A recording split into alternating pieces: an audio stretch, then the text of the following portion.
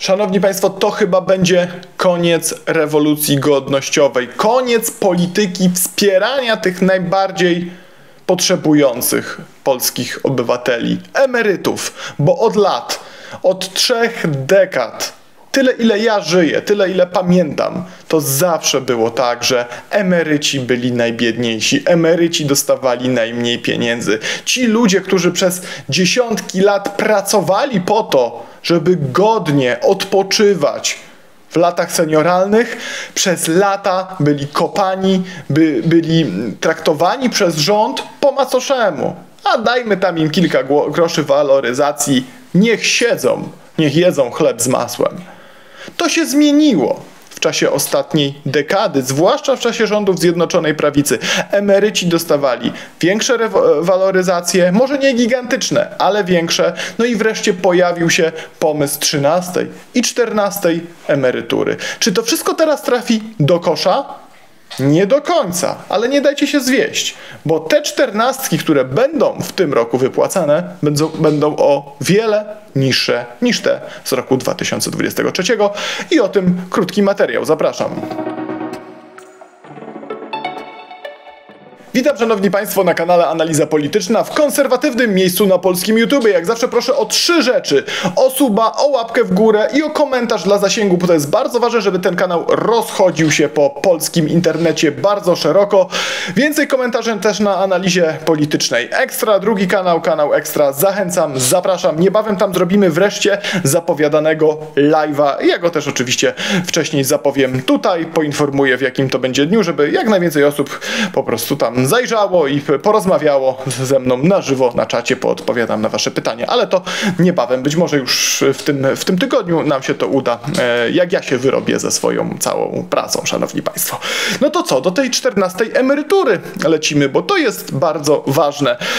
Do faktów, do suchych faktów, zanim ja powiem swój taki hmm, osobisty komentarz w tej sprawie, który mam, bo mam bardzo osobiście, bardzo osobiście i bardzo yy, yy, jest to dla mnie ważna kwestia. Kwestia poziomu emerytów i życia seniorów w Polsce. Posłuchajcie. W tym roku wypłata 14 emerytury będzie mniejsza o 900 zł niż była w roku ubiegłym.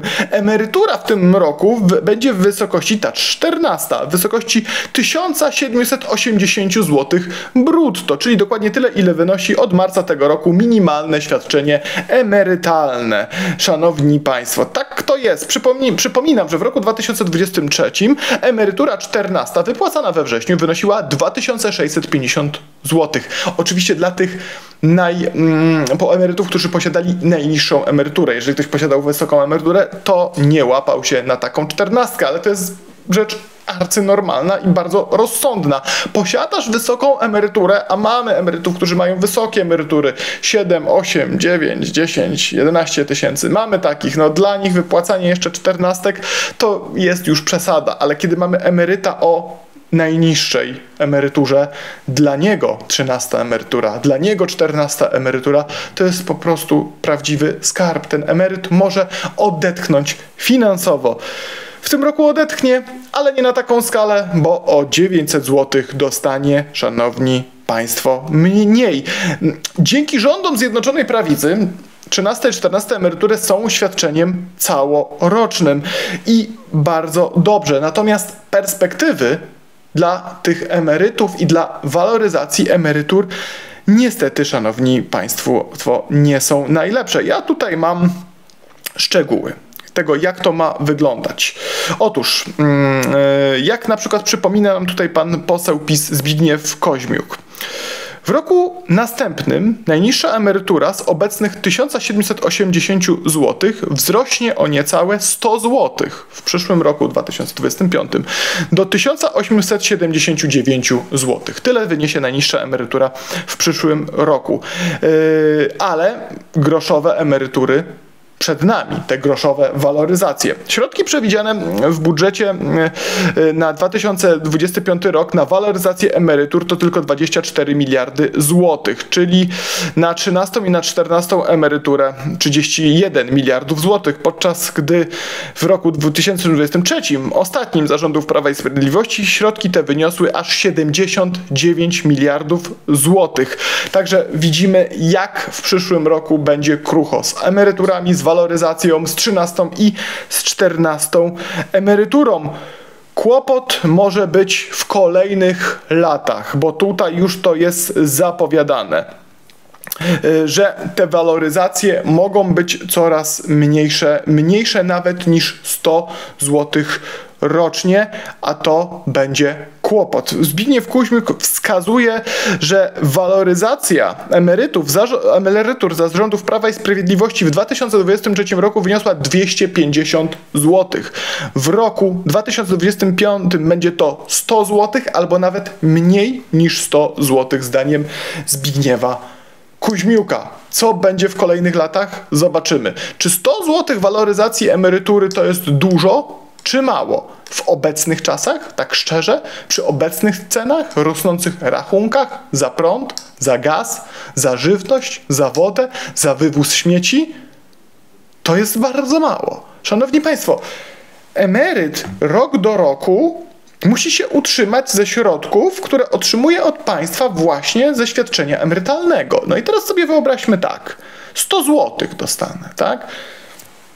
Prąd miesięcznie średnio wyjdzie mnie drożej 20 zł, myśli emeryt. 25. Emeryci dużo siedzą w domach, dużo prądu używają, oglądają telewizję, włączają światło, czytają do czytania książek.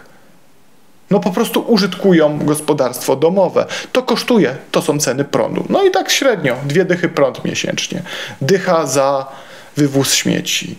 5 zł miesięcznie za wodę tak, to już macie 35 zł z tej, z tej stówki waloryzacji, którą mamy. Gaz drożeje. Tu mi ciężko oszacować, ile na gospodarstwo domowe gaz, bo y, sam dopiero od niedawna mam gaz i nie potrafię tego oszacować. Zobaczymy, jakie przyjdą rachunki, jak ja będę mm, użytkował gaz w moim gospodarstwie domowym. No ale przejdźmy do sklepów tak? Jeżeli emeryt porusza się samochodem, chce jeździć do lekarza, chce jeździć do zaku na zakupy, cena paliw rośnie. To nie są paliwa te obiecane po 5,19 przez Donalda Tuska. To jest paliwo blisko po 7 zł. Trzeba zatankować samochód.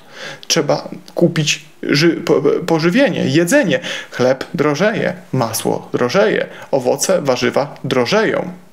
Znaczy, emeryt, rozumiem, ma żyć na najniższej stopie, ma jeść najtańsze produkty, ma jeść yy, najtańsze mięso, może najgorzej, gorsze jakościowe produkty, no tak nie da się przeżywać, tak?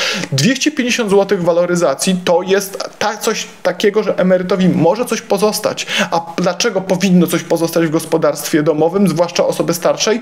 Ponieważ mamy koszty leków. Leki rosną, tak? To w przypadku osób starszych, seniorów, to nie są tylko te stałe leki, które seniorzy pobierają. To są leki, które im dodatkowo dochodzą. Często też leki przeciwbólowe dla osób, które cierpią na różne dolegliwości, maście, no, różne kapsułki. Wiem, bo mam w swoim otoczeniu wielu seniorów i widzę, z jakimi problemami się borykają. Jeżeli nie ma w takim gospodarstwie domowym osoby, a często tak jest, osoby, która ma dużą emeryturę, pojawiają się same problemy. Ja zawsze w takim momentach wspominam moich dziadków, którzy przez całą moją młodość otrzymywali bardzo marne emerytury. No, pracowali długo, ciężko całe życie, a na starość po prostu dostawali groszowe emerytury od państwa. No i ciężko im było wiązać koniec z końcem. Jakiś, jakoś to robili, robili, ale to było życie na minimum egzystencji. Tak nie może być. Nie może być tak, że polski emeryt zawsze traktowany jest po przepracowaniu 40 lat ciężkiej pracy po macoszemu, a tam dajcie jakieś grosze. To nawet nie jest 2000 zł. Dziś się nikogo za 2000 zł do pracy nawet nie znajdzie, bo to są pieniądze, za które się nie da utrzymać. Emeryt jakimś cudem musi się dać utrzymać. Gdzie jeszcze, przepraszam bardzo, do tych, do tych wszystkich kosztów, które rosną, zapomniałem doliczyć wzrost ceny czynszu za mieszkanie. jeżeli mieszkają emeryci w mieszkaniach, a jest ich całe mnóstwo, miliony. I tutaj nawet jest po 100 zł podwyżki miesięcznie. No ludzie święci. A tymczasem niemiecki emeryt leży na wakacjach, bo go na to stać. Francuski emeryt również, a brytyjski emeryt również i tak dalej, i tak dalej. Jak to jest, że my po prostu w Polsce tak traktujemy seniorów? I jeżeli zadłużać państwo, jeżeli obciążać budżet, w mojej ocenie, jeżeli już to robić, to nie na te wynagrodzenia dla polityków, dla y, działaczy w spółkach Skarbu Państwa, dla menadżerów, dla tego, tamtego, na kampanie wyborcze, na partie, na to, na tamto. Nie. Ale właśnie na seniorów tak. Bo im się należy. Oni już nic więcej nie mogą zrobić. Nie mogą więcej pracować, nie mają do tego siły. Polakom, seniorom należą się godne emerytury. Rozpoczynał to rząd Prawa i Sprawiedliwości. Było lepiej.